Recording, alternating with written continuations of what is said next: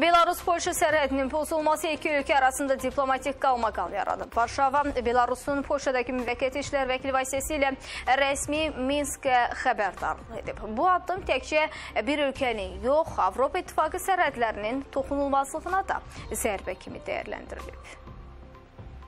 Belarusun Polşadakı müvəqqəti işlər vəkili Aleksandr Çesnovski Xarici İşlər Nazirliyinə çağırılıb. Buna səbəb naməlum uniformalı silahlı şəxslərin Belarus-Polşa sərhəddini pozaraq ölkə ərazisinə keçməsidir. İnsident Belarus sərhəddindən 300 metr məsafədə baş verir. Bu addım iki ölkə arasında indiyədək yaranan təhlükəli vəziyyət kimi qiymətləndirilib. Məlumatda patrul əməkdaşlarının müqaviməti ilə qarşılaşan silahlıların geri çəkildiyi açıqlanıb. Buna dözmək fikrində deyilik. Həm öz sərhədlərimizi, həm Avropa İttifaqının xarici sərhədlərini qorumaqda qətiyyətliyik, deyə Nazirliyin bəyanatında vurğulanıb. Xatırladaq ki, ötən il Belarusda prezident seçkisinin nəticəsini tanımayan Avropa ölkələri rəsmi Minskə sanksiyalar tətbiq edib. Ryan Air təyyarəsinin məcburən endirilməsi və müxalifətçinin həbsi gərginliyi daha da artırıb. Cavab tədbiri kimi prezident Aleksandr Lukashenkonun mühacirlərin Polşa və Litvaya axınına imkan verdiyi bildirilir. Sonuncu hadisə isə Avropa İttifaqı və Belarus arasında gərginliyin növbəti mərhələsinə yol açıb.